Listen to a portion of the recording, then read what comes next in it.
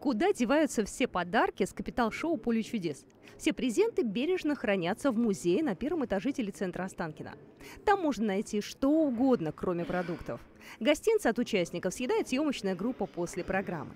Из еды в музее хранится лишь первая подаренная банка соленых огурцов и бутылка самогона. С первой игры на полках скопилось тысячи экспонатов, национальные костюмы, сувениры, игрушки, поделки и, конечно, картины со знаменитым ведущим Леонидом Якубовичем.